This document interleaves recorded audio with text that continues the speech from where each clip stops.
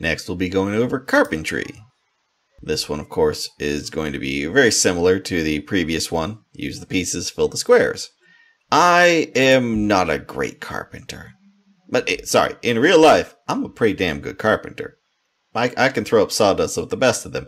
In this game, uh, I willingly admit it. If your ship is sinking, find somebody else. Anybody else. If there's a squirrel aboard, maybe give them the hammer. I'm sure there are carpentry masters already screaming at me that I've done something wrong. One of the things we definitely need to do is update some of the art. As you can tell, not a lot of great background going on with this one. Not a lot of uh, game info either. But I got I got ideas. I got plans. We'll get it figured out.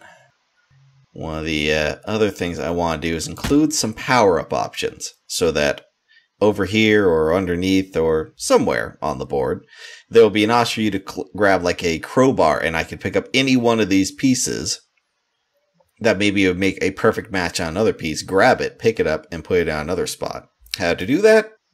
Eh, it's more of a coding thing. But it is something I would like to see if we can implement.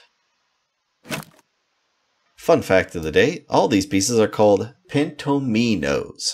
I'm pretty sure. I'm, I'm pretty sure that's how it's pronounced. Anyways, it means basically it's made out of five little pieces. In Tetris, they even have their little fun little names.